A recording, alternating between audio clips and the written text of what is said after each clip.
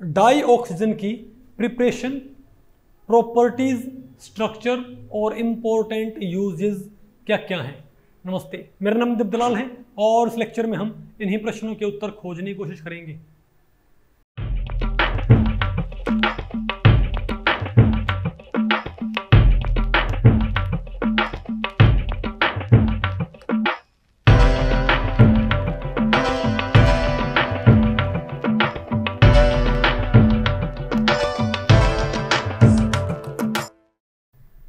Okay, अब बताओ हम क्या पढ़ते हैं भाई? डाई ऑक्सीजन ठीक है? अब देखो भाई, क्योंकि अब हमने ग्रुप 16 एलिमेंट्स की जनरल बात कर ली ना? अब हम क्या करेंगे?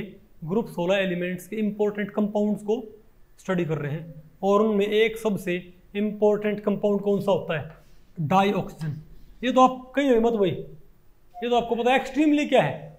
इंपॉर्टेंट क्योंकि डाई ऑक्सीजन की वजह से इंसान क्या है? ज़िंदा। पता होगा ना? कोविड में तो भाई इसकी और भी क्या थी? इसका महत्व था डाइऑक्सीजन का। इजंट इट क्योंकि हमारी बॉडी भाई ऑक्सीजन को ही लेके और फ्यूल को तोड़ती होती है। तो ये बहुत एक्सट्रीमली इम्पोर्टेंट कंपाउंड है। और इसकी भाई प्रिपरेशन क्या होती है बताओ? थोड़ा इसकी हम स्ट्रक्चर के बारे में बात करेंगे। स्ट्रक्चर के बारे में बात नहीं कर रखी क्या? कोई बात नहीं। ये मैंने आपको पढ़ा रखा है स्ट्रक्चर चलो थोड़ा बात करते पहले। बताओ इसको बनाए कैसे डाइऑक्सीजन को? कैसे बनाओ बनाओगे? या तो आप क्या करो? जो हमारे पास क्लोरेट साल्ट क्या मेरे पास क्लोरेट है नाइट्रेट है, या परमैग्नेट है। उनको आप सिंपली गर्म कर दो। क्या करो अपन को तो क्या बन जाएगा आपके पास? के सी एल जैसे क्लोरेट मैंने गर्म किया तो क्या बन गया मेरे पास? के सी एल प्लस क्या बन गई?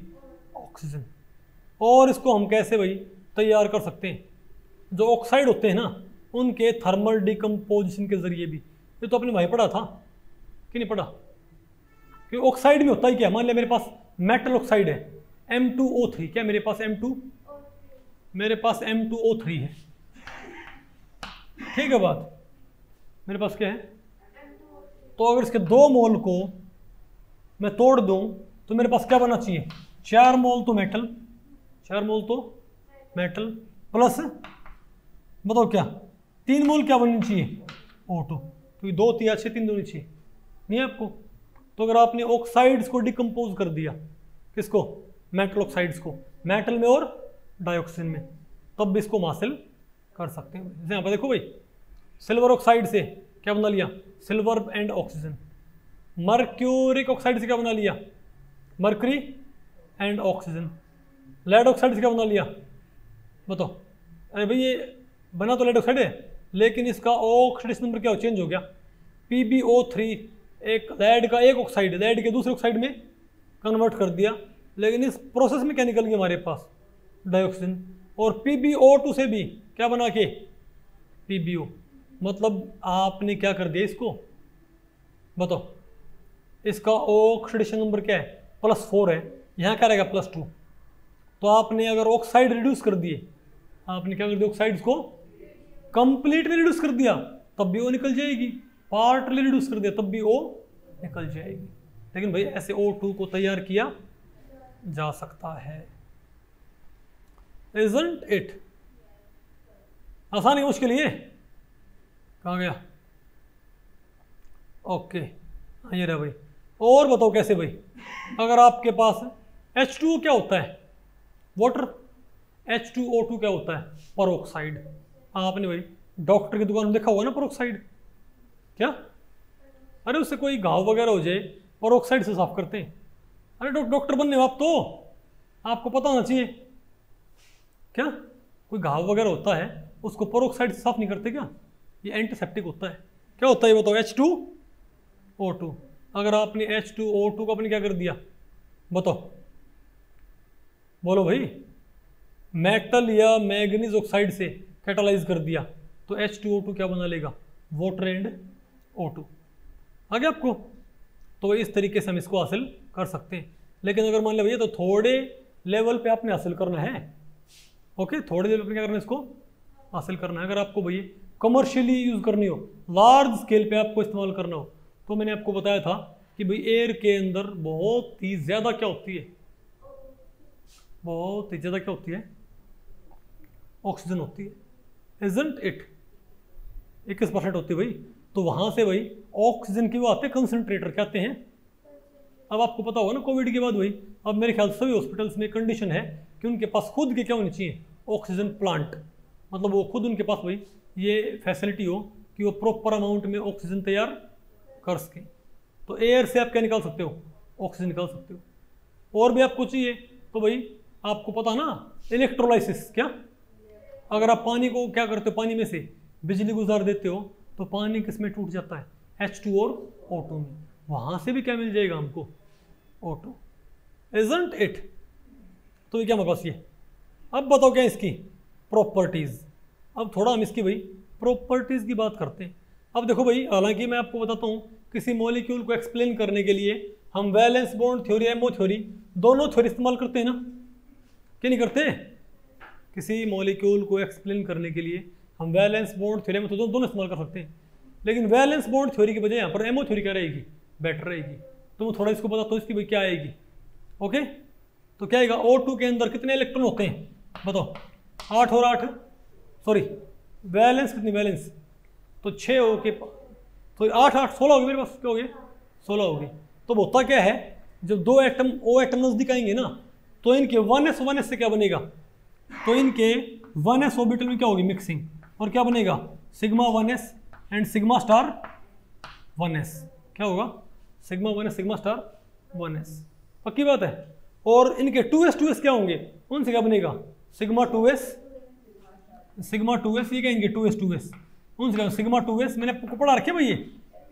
ये क्या? सिग्मा स्टार टू एस हम इसको रिकॉल कर रहे हैं जस्ट और उनके p x p y p z यहाँ भी कौन p x p y z अब पी जेड क्या करेंगे?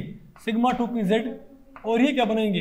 Pi two p x pi two p y और ये क्या? Pi star two p x pi star two p y और ये क्या? Sigma star two p z ये ना हमारे पास। अब इसके पास इलेक्ट्रॉन कितने थे? अठारह? सॉरी सोलह।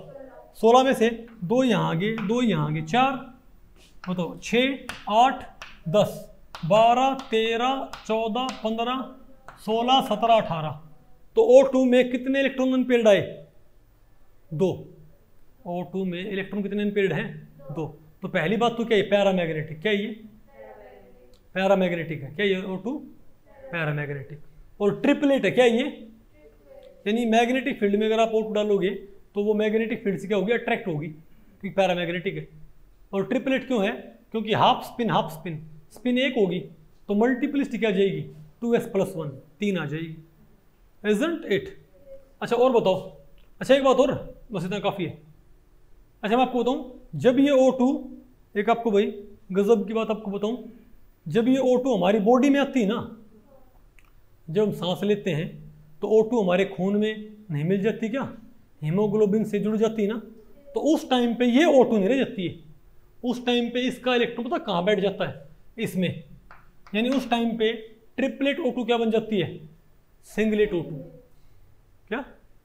उस टाइम पे ट्रिपलेट ओ क्या बन जाती है? सिंगलेट ओ बन जाएगी। क्योंकि इसका पता फ़ायदा क्या होता है? इसका फ़ायदा ये होता है, इसको मतलब इससे बॉन्डिंग बेटर होती है फिर इससे क्या होती है? इससे बॉन्डिंग बेटर होती है। तो हम क्या बोल नॉर्मली ओ क्या होती है? ट्रिपलेट लेकिन हीमोग्लोबिन से जुड़ने पर क्या होती है? सिंगलेट होती है। आगे आपको ये? और इसका मोलिक्यूल क्या होता है? लीनियर क्या होता है? लीनियर इसका मोलिक्यूल है। और बताओ क्या मेरे पास इसकी प्रॉपर्टीज़ क्या भाई? अब इसके आप भाई, बाकी प्रॉपर्टीज़ आप मुझे बताओगे। ओके यार आपको ये अच्छा बताओ, इसकी बताओ प्रॉपर्टी क्या है? ऑक्सीजन क्या होती है? डाइऑक्सीजन क्या होती है?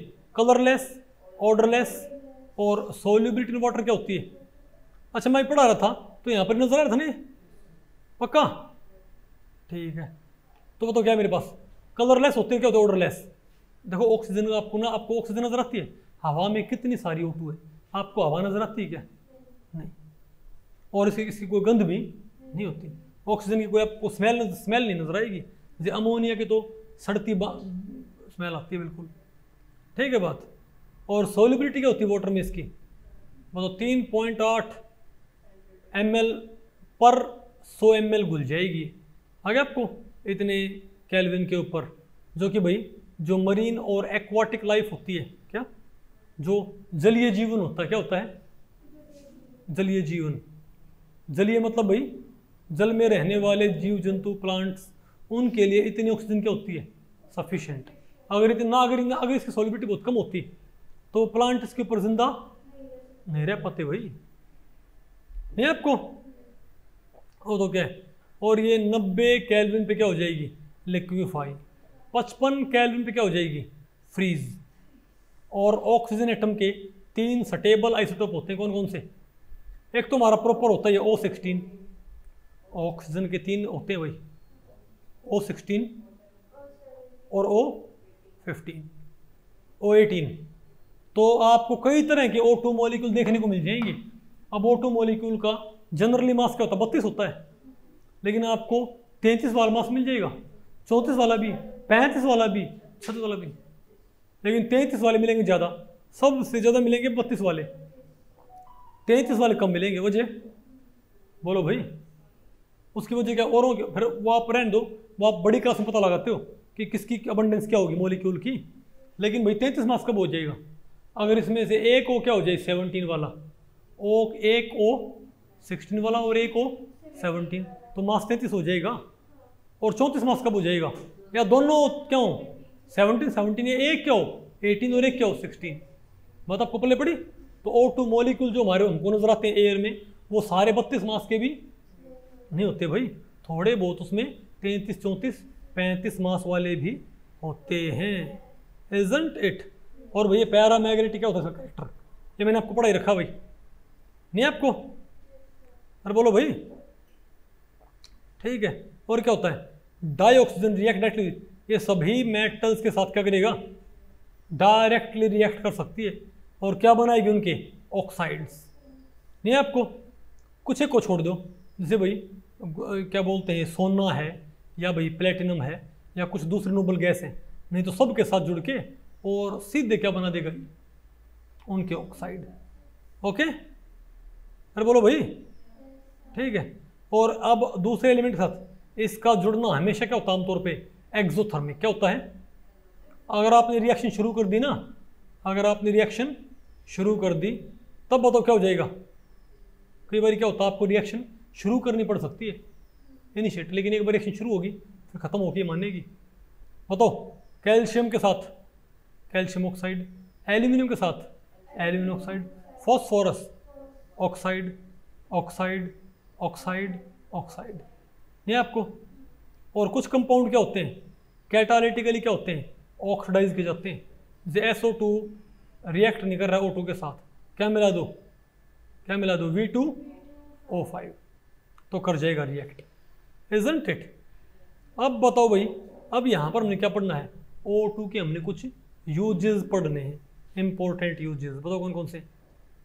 In addition to its importance in normal respiration and combustion process भाई आपको पता है, देखो, आप आग जलाते हो, आप कुछ भी जलाते हो तो वहाँ पर ओ टू इस्तेमाल होती है ना, और हम सांस लेते हैं। देखो, आप गाड़ियों में फ्यूल जलता है, वहाँ भी वो चाहिए पता होगा ना आपको?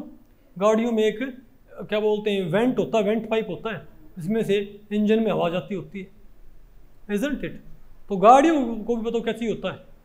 ऑक्सीजन चाहिए होता है फ्यूल जलाने के लिए। तो हमारी बॉडी में भी क्या होता है? जो हम खाना खाते हैं, वो जो फ्यूल होता है उसको, उसमें से एनर्जी निकालने के लिए हमें क्या चाहिए होती है? ओ टू बात आपको पहले पड़ गई? हमारी बॉडी में जो क्या होता है? ग्लूकोज क्या होता है?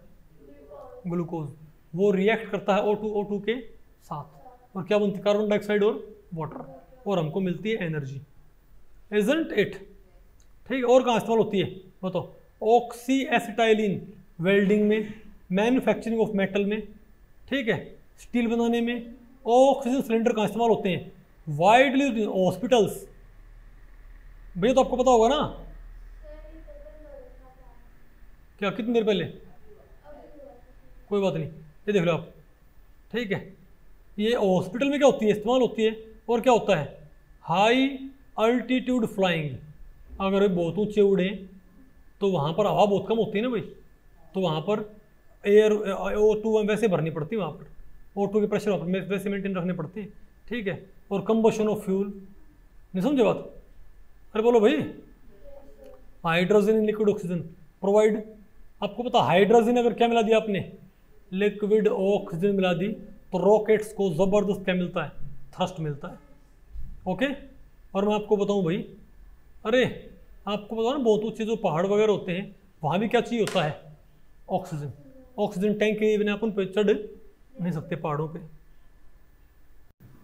तो भाई इस लेक्चर में इतना ही। अगर इस लेक्चर के बारे में आपके कुछ प्रश्न या सुझाव हैं तो आप मुझे नीचे कमेंट सेक्शन में पूछ सकते हैं। मैं उनके उत्तर देने की पूरी पूरी कोशिश करूँगा। तो भी ठीक है, मिलते हैं अगले लेक्चर में। तब तक के लिए नमस्ते।